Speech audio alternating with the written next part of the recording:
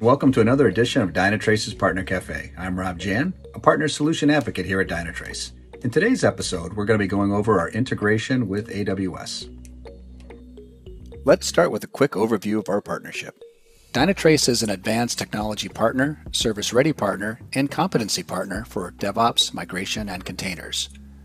Dynatrace is transactable through AWS Marketplace with pricing and terms that fit your technical business needs. Let's take a minute now to review our solution. The Dynatrace One Agent covers all the major AWS compute resources from EC2 to Lambda, Kubernetes, and many more. Full stack means that a single agent collects performance metrics for all types of entities in your application environment servers, applications, databases, and across each layer of your technology stack, including containers. Furthermore, all the timings and code level context for application transactions end to end are supported from cloud to mainframe using our patented PurePath technology. Dynatrace also supports comprehensive monitoring for AWS resources that publish to AWS CloudWatch.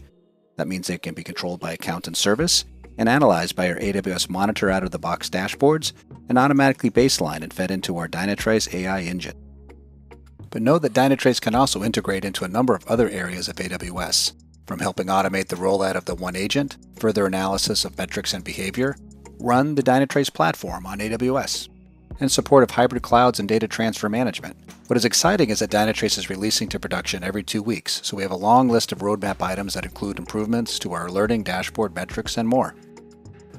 Let's shift over to take a look at our AWS monitoring integration. Here we're looking at a view that shows how we've automatically brought in CloudWatch metrics for the different services we've configured and visualizing it within a view within Dynatrace. Here we can see our dynamic environments where we're running several hundred EC2 instances. If we drill into one of these zones, now we can get a breakdown of the individual instances that are running here, and we can see their instance type, What's great about this is this information from CloudWatch is put into Dynatrace's entity model. So if we were to take a look at this, we're seeing all the tags that may be associated with this particular host. We can see information about its availability zone, its instance type, etc. And we can see all the time series type data that's available as it came over from CloudWatch. Let's go back to our view and maybe we can see the same thing is true for other services such as Lambda. Here we can see our individual Lambda functions and we can come down and see again all the time series data that's automatically brought into the Dynatrace entity model. Now that you've seen how some of the data comes in as well as the entity model, what does Dynatrace do with this information? What we're looking at here is a problem card, and this is an aggregated view of some situation that's happened in the environment that was derived from the metrics and logs gathered from the One Agent or fed in from CloudWatch metrics to feed into some sort of impact to a user or a service. What's special about this is we can see not a single event, but a, a, problem window. In this case, this one was closed, but it was open for 27 minutes. And at a quick glance, we can see that multiple applications are affected, as well as services and infrastructure items. We know the names of the applications because we know where the transactions are coming from.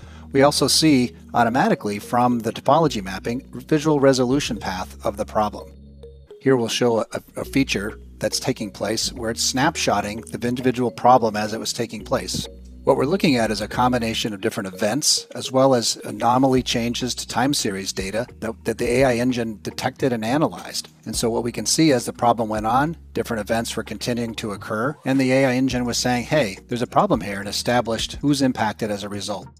What would have happened in a traditional monitoring tool is a whole bunch of alerts for each layer, from the end user impact to maybe a service availability problem to a database problem, and people would have spent a long time figuring out who caused the problem, trying to correlate all this information together, and that's the power of Dynatrace. It did that all automatically through the AI engine. So not only did it tell you who was impacted, where it was happening, but it also told you the root cause.